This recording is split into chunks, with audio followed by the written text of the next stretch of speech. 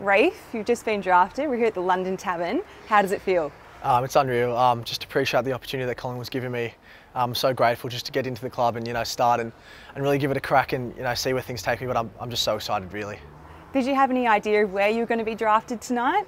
Nah, not really. Nah, it's all up in the air, really. Recruiters don't give much away, and so um, Derek, uh, head recruiter of you guys, you know, he gave me a text after a couple of picks and said, uh, "Welcome to the Pies," and that really made my night. And um, just hearing my name called out in the end and Pies matching was was unreal. And spending it with my family and friends and girlfriend, um, I couldn't ask for a better experience and um, you know, a good opportunity to be here.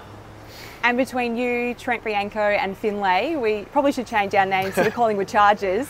Um, how do you feel about coming to the club and seeing some familiar faces? Um, it's awesome having those have those mates I've played with lots of footy with. Um, really really helps me integrate, I think, and being able to be around some of my best mates will be awesome, and I can't wait to get that experience.